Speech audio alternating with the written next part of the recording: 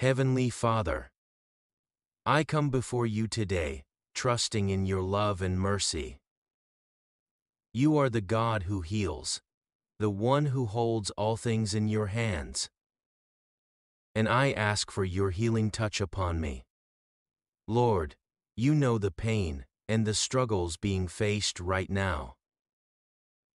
I ask that you restore health and bring comfort during this time of sickness. Father, I believe that you are greater than any illness. And nothing is impossible for you. Please strengthen the body, mind, and spirit. Take away the discomfort, heal every part that is broken or weak. And breathe new life into every cell. I also ask for peace in the midst of this trial.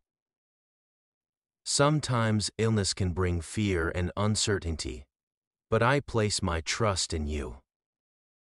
Remind me that your presence is always near, and your love is unwavering.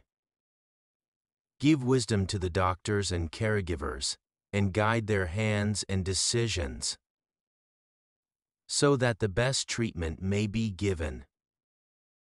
Lord, I pray for patience during the healing process. Sometimes, healing takes time, and it's easy to grow weary.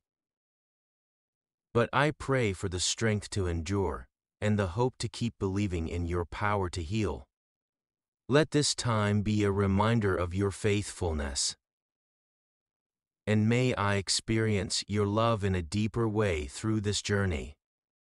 In your perfect timing, I trust that healing will come and I thank you for the grace you give each day. You are my healer, and I praise you for all you have done and will continue to do. In Jesus' name, I pray, Amen.